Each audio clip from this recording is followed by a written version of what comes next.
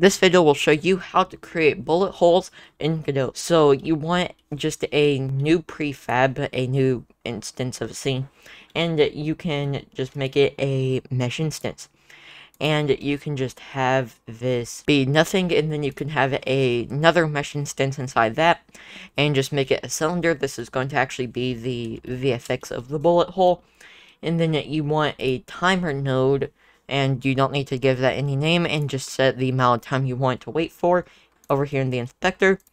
In the script, you can just reference this timer here and say on timer timeout. You can just delete the bullet hole so it isn't wasting resources on rendering the bullet hole.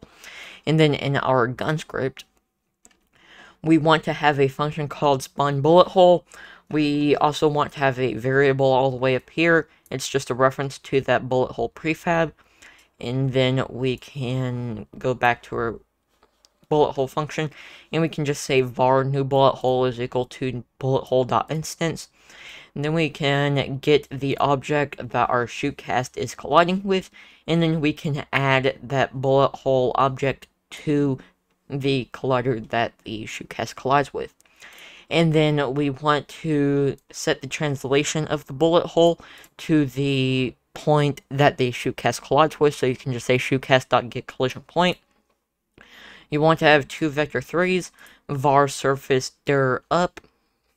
Also, you could say var surface direction up, and you can just set this equal to a vector 3 with 0, 1, and 0.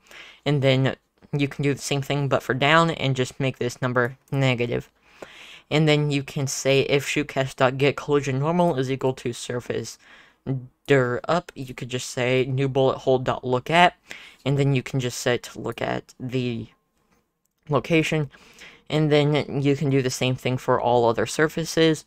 So you can just copy paste this code into your own script. I'm going to have it shown on screen for a few seconds. Okay, so that should be enough time.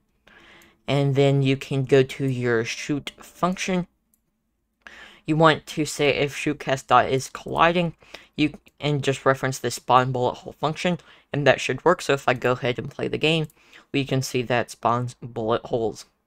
And after about 45 seconds, we should see these bullet holes start to disappear. Still waiting. So it's been over 45 seconds, and the bullet holes haven't despawned. Um, there's multiple possibilities. Um, I forgot to click the auto start in the timer node, and I'm just going to reduce this time just for the purposes of this tutorial. So I'm going to play again, play, and then after 5 seconds we should see the bullet hole despawn. Okay, so you just saw the bullet hole despawn. So, if your bullet hole's not despawning, just make sure to click auto start.